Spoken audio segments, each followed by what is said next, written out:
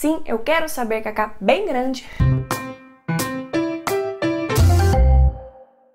Oi, queridos! No nosso vídeo anterior, eu comentei com vocês que eu sabia de alguns truques que poderiam mudar a carinha da loja de vocês, mudando ali a superfície do piso ou das paredes. E como vocês comentaram que gostariam de saber quais são esses truques e também que seria um tema interessante para o canal, aqui estou para mais um vídeo. E lembrando que se você ainda não segue o Kaká Store Design pelas redes, venha se juntar ao nosso grupo, já deixa o seu like aqui para mim nesse vídeo e se ainda não é inscrito, inscreva-se e venha fazer parte do canal.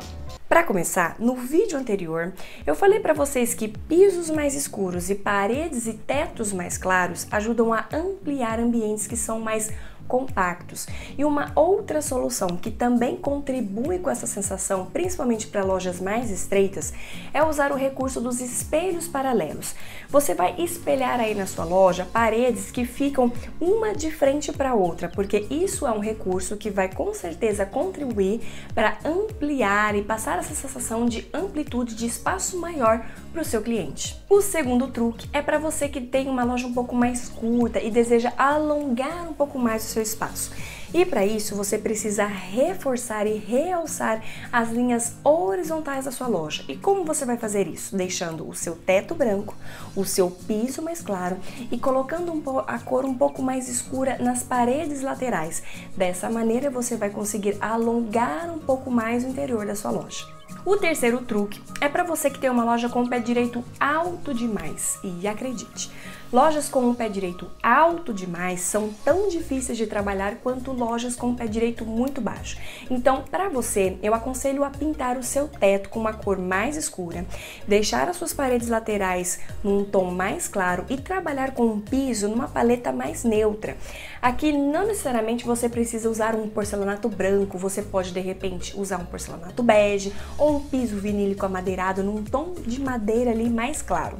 Inclusive, se você quiser reforçar ainda mais essa diminuição na sua altura, você pode fazer uma linha de borda em todo o perímetro da sua loja usando o mesmo tom ou a mesma cor que você acabou de pintar o seu forro, porque dessa maneira você vai reforçar essa questão da sensação de uma loja com o pé direito um pouco mais baixo.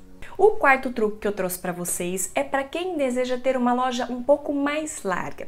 Para isso, basta você pintar o seu teto e o fundo da sua loja numa cor mais escura, deixar ali as suas paredes laterais num tom mais claro e trabalhar também com o piso numa paleta mais neutra, ou seja, não necessariamente você precisa ter um piso branco, ok? O quinto truque é direcionado a você que deseja aumentar ou melhorar a luminosidade da sua loja, ou seja, ampliar aí a sensação de claridade. E para isso, você precisa deixar as suas paredes mais claras e pintar o seu teto ou o seu forro com uma determinada cor que vai refletir melhor a luz. Agora, responda aqui para mim. Qual cor você acha que é essa? Se você respondeu o branco, você errou. Porque na verdade a cor que melhor reflete a luz é o meu queridinho amarelo. Inclusive, recentemente a loja Schultz pintou todo ali o forro baixo da sua loja de amarelo e acredite, a sensação é de que a loja aumentou os pontos de iluminação, o que na verdade não foi feito. É apenas ali um jogo de pintura que contribuiu para passar essa sensação da loja estar mais iluminada, mais clara. E eu acredito até que essa ação surgiu na verdade dessa grande tendência do neon, porque vocês sabem que neste momento o neon é uma das grandes apostas. E se você tiver mais alguma dúvida em relação a esse tema, escreva aqui abaixo nos comentários que eu posso responder sua pergunta lá pelos stories. E lembrando que eu faço projetos e consultorias online para todo o Brasil. É só mandar um e-mail para mim, para cacaribeiro@cacastoredesign.com.br. Queridos, deixem seu like aqui pra mim, compartilhe com seus amigos. Se ainda não é inscrito no canal, inscreva-se e venha fazer parte do Cacatu, tá certo? Então, um beijo da Cacá pra todos e até o próximo vídeo.